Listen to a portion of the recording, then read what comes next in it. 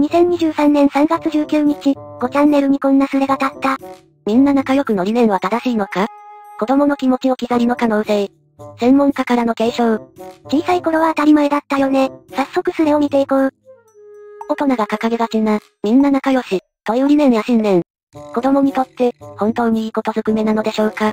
子育て本、著者、講演家の筆者の考えとは、子育て本、著者、講演家として活動する私は仕事柄、よく幼稚園や保育園に出入りしていますが、そうした場所で教育理念として、みんな仲良し、と書かれているのを見かけることがあります。しかし私は、ちょっとひねくれているかもしれませんが、絶対に誰とでも分け隔てなく、みんなと仲良くしないとダメなの？子供だって、苦手な相手くらいいるでしょ？と思ってしまうことがあります。保育園や幼稚園に置いてあるおもちゃは、自分専用、のものではありません。そうした中で、園のおもちゃであるブロックを電車に見立てて遊んでいる子がいました。その子はブロックを誰にも触らせず、独り占めしていました。そこへ、他の子がやってきて、それ、貸して、とブロックを持ち上げると、電車はあっという間にバラバラになってしまいました。ブロックで遊んでいた子は自分の世界を壊され、友達を叩きました。線路を繋げている真っ最中だったのですから。そこに保育士が来て、どうしたの？みんなと仲良く一緒に遊ばないとダメじゃない。ごめんね、わ。ごめんね、わ。友達を叩いた子を叱りました。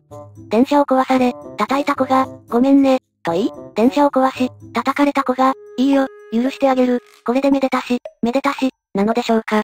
ブロックで電車を作っていたところを、友達に邪魔されたらとても嫌な気持ちになるものです。叩く行為自体は確かにいけないことではありますが、その前に起こっていたことを把握しないまま、いきなり謝罪を強要するのはどうなのでしょうか。続きはソースを。子供の時にいじめをした奴は、大人になって大抵パワハラをする。絶対仲良くしろは無理だけど、仲良くなる努力は絶対にした方がいい。社会性は生まれ持ってあるものじゃない？訓練して身につけるものだから。仲良くってのは社会性って意味だよね。友達になるってことじゃないよね。他人と問題なく関わり協力し合うことだな。うん、それが成熟した大人だよな。日本人は幼稚だから好きとか嫌いとか感情が出すぎ。有名私立小学校の試験だと子供同士を数人で遊ばせて、人のおもちゃを取ったり、ぼっちで遊んでたりする子を落とすらしい。うちの末っ子は落とされるな。妹におもちゃ触られるとブチギレ。知らない子の輪には入れない。そのうちどうにかなるだろう。嫌いな奴と仲良くすることないだろ。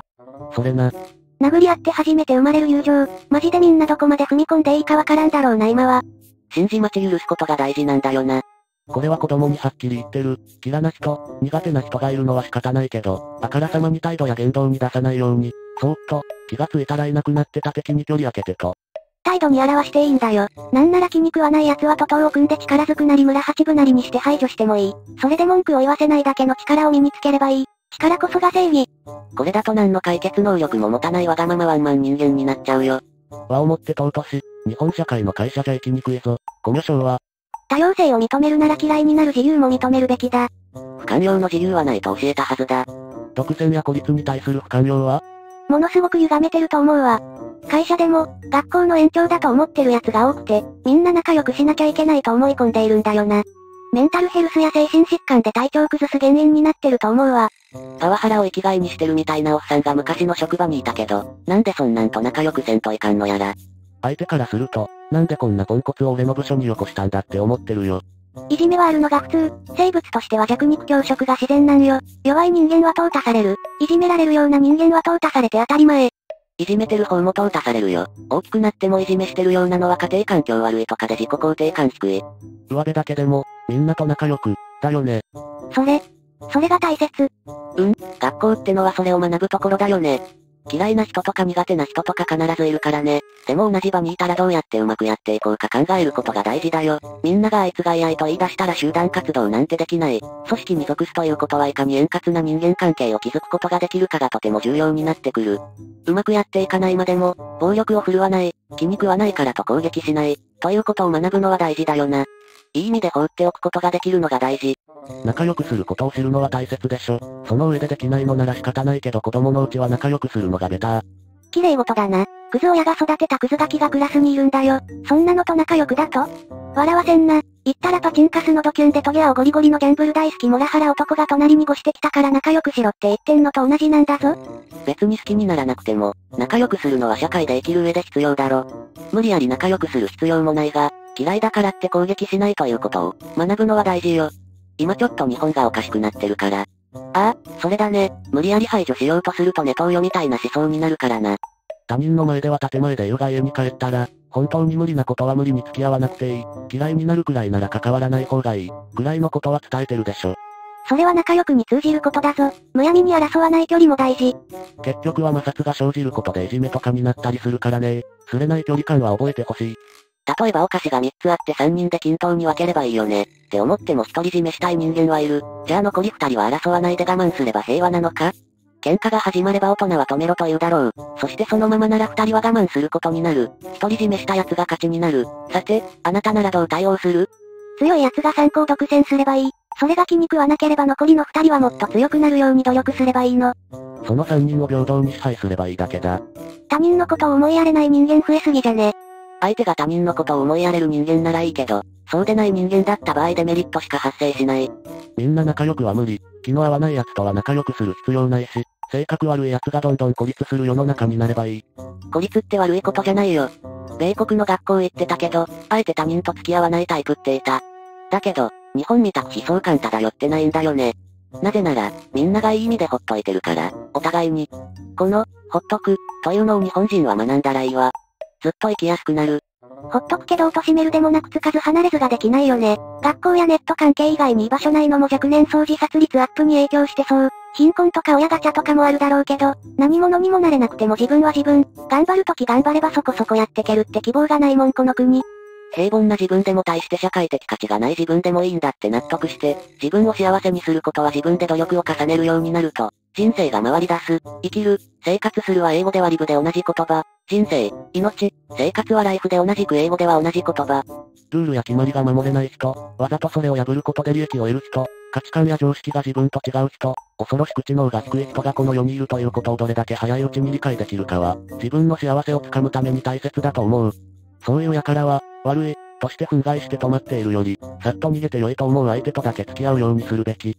結局、それが全てだよな。そうすると、全ての人を尊重して対等に扱わなければならない。という理想論が崩れる。結局理想と現実の折り合いは自分自身でつけなければならないから難しい。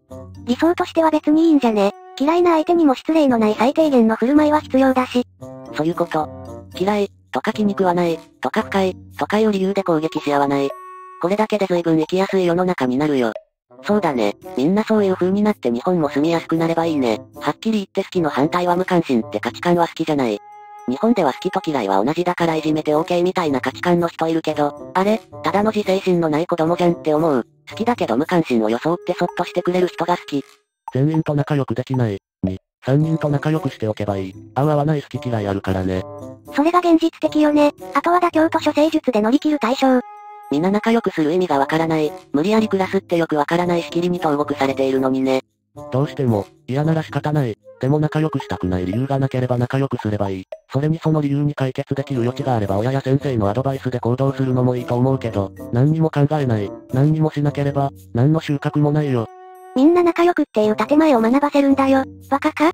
まあ結局そうなんだよね。しかしどこで付き合う友達はちゃんと選べに切り替えるか、幼稚園にのうちはみんな仲良くでいいし、自分の記憶ではガキなりになんか嫌な子だなって思ったりしたけど、幼稚園なんかで一緒に何かしたりしてその辺よく実感しておくのは悪くはないと思う。学校では子供の、なんで、の先の先まで教えないよね。それは親のやることだけど親が学校に任せてるから疑問が日々積み重なって追いつけないダメな子になり下がってしまう。答えなんかより考え方の方がよほど大事だよ。これ面倒見る側が面倒くせえから喧嘩すんなトラブル起こすなって話だよね。人間としての成長を望むなら喧嘩して解決するところまで見守ったり手助けしたりするべきなんだから。喧嘩して解決ってのは、どこに着地するかなんだよ。自分有利に解決すると、暴力って自分に有利なことなんだと間違って覚えるんだよ。小さい時は頭から介入的必須。とりあえずの建前は必要だろ。できないにしろ。少なくとも、そういう建前で大人になる頃にはみんな本音と建前を使い分けられるようになるんだし正しいのかもな。はじめから現実はこうで、す。はい残念論破。なんてやってたら地獄みたいな世の中になるかもしれん。そういうこと、まして子供に本音や現実ばかり教えるのは良くない。すれたガキに育つ。大人が仲良くできないのに子供に押し付けるのは間違い。それなんだよね。戦争がなくならないのに。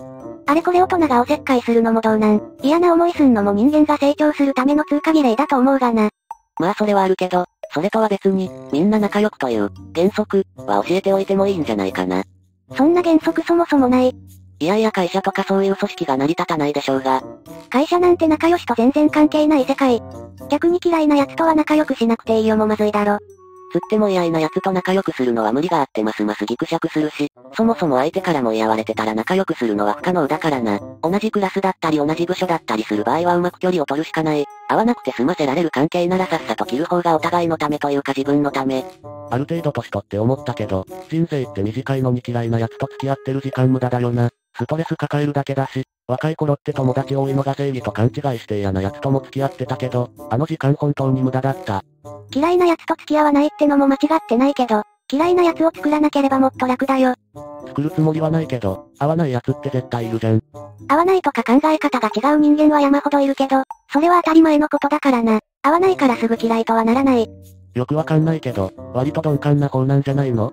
周りはあんたにストレス溜めてるかもよ。ちなみに自分は恐ろしく勘の鈍い人や気の利かない人が苦手。毎日顔合わせてると最後には生理的に無理なこと嫌いになる。親同士が仲悪いから子供にも誰々とは親しくするなというのはある。あと社宅なんかだと上司の子供が偉いといったヒエラルキーも。逆もある。親同士は仲いいのに子供同士は気が合わない。こっちのが強制的に付き合わされるからしんどい。みんな仲良くじゃなくて、合わない人とは距離を置くでいいじゃん。子供が低学年の時の担任は、ここだけの話だけど、というキャプション付きで、違和感ある相手とは無理して仲良くしなくていいです。無理してつるんで悪い影響を受けなくていい、とはっきり言ってた。そもそも、仲良く、って何だろうな。折り合いをつける能力だと思ってるよ。日本の教育はこう決して同調圧力を学ぶ場所だからね。おかげで何やっても暴動すら起こらない従順な納税するだけの奴隷の出来上がり。みんな仲良くと、同調勢力は別。みんなで仲良くしましょう押し付けてんだから同調圧力と変わらんだろ。ギスギスしてると管理する側がめんどくせえから仲良くしろって言ってるだけでしょ。それだけじゃなく教育的配慮もあるだろ。殺伐とした雰囲気の教室で育てばろくな大人にならんだろ。アホほど自然界の弱肉強食が人間社会にも適用されるって信じてるからな。人間社会は明らかにその論理で動いてないのに。いや動いてるけど、建前として否定はしとかないと、本音だけの世界は殺伐として生きにくいぞ。今頃、こんな話が出るのか？ずれすぎだな。というか、現在には変な奴とは関わるなっていうのは、まあ普通の親なら言うけどな。親はそう言っても大概の先生は、みんなと仲良くしろ、嫌いな人を作るな、みたいな方針だよ。まあ学級運営上そういうしかないんだろうけど、先生だって職員室全員好きな奴ばっかじゃないから無理があるのは承知だろうけど。どっちみち大人が言ったって守やしないのが子供だから。真面目に守ろうとする子供にしわ寄せが行くのよ。真面目な子は要領よく生きる術を覚える必要があるので。真面目な子は攻撃してくる相手とも、仲良くしなきゃいけない、から苦しむんだよ。友達がいないことを気に病むなって教えの方が万能だよ。付き合うなとか仲良くしとけなんてこじれるだけ。仲良くイコール友達ではない。お前は多くを求めすぎなわけ。